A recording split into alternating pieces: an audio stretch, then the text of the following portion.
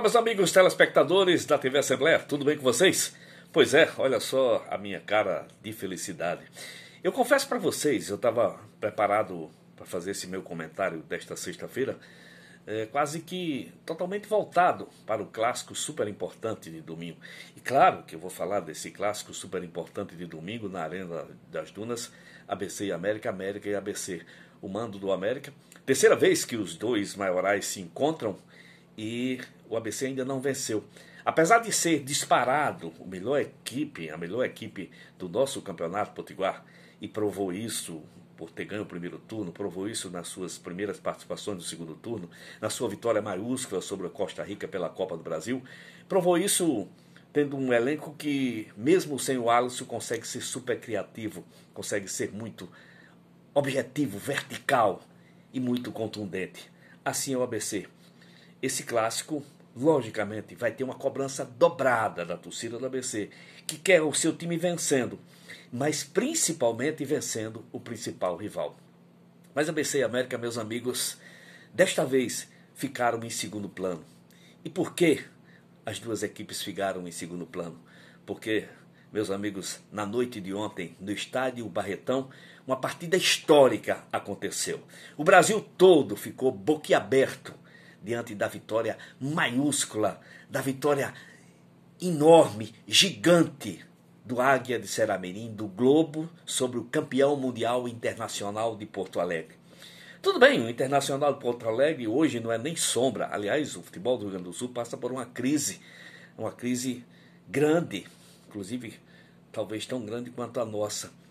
Os clubes, o Grêmio foi, foi eliminado pela equipe do Mirassol. Juventude lutou contra o rebaixamento, a Série B, luta contra o rebaixamento no Campeonato Gaúcho e o Internacional ficou pelo meio do caminho. Não é nem sombra do Internacional campeão mundial, mas é o Internacional de Porto Alegre. É a equipe que toda a imprensa apontava como super favorito. E a cada minuto que o jogo passava, em nenhum momento os elogios vinham para o Globo. Eram só críticas ao Internacional. É aquela velha história um time pequeno, quando vence, um time de menor expressão, menos conhecido como vence, não é porque jogou bem, é porque o adversário poderoso jogou mal. Mas não se enganem, meus amigos, não engulam essa conversa da imprensa nacional. Não engulam essa conversa da imprensa gaúcha que está gerando uma crise imensa, pode até significar demissão do técnico Medina. O Globo jogou muito, meus amigos, nem pareceu aquele globo das derrotas na Copa do Nordeste. Se bem que aquele globo das derrotas da Copa do Nordeste tinha sim, tinha sim a justificativa de muitos problemas de doença, de troca de treinador. Mas eu sempre disse, desse globo, mesmo esse globo que não se classificou para a segunda fase do nosso campeonato potiguar, que ficou de fora das semifinais, eu dizia que era o time que mais me agradava ver jogar. O time do Hugo Chacon era o time que mais me agradava ver jogar. E com Jaelson Marcelino, que assumiu há poucos dias, eu não sei se é já o dedo do treinador ou se é coincidência, esse time do Globo ficou ainda mais agradável de se ver jogar. Porque ele sacou o Adílio do time, que era um jogador pouco produtivo, e joga com o Nino como titular, que para mim é um dos maiores jogadores desse nosso campeonato potiguar, esse jovem valor do Globo de Seramirim. E outro que está sendo recuperado, o Anderson, que passou pelo ABC, que passou pelo Alecrim, fez uma partida memorável, assim como o veterano Miltinho. Enfim, todo o time do Globo.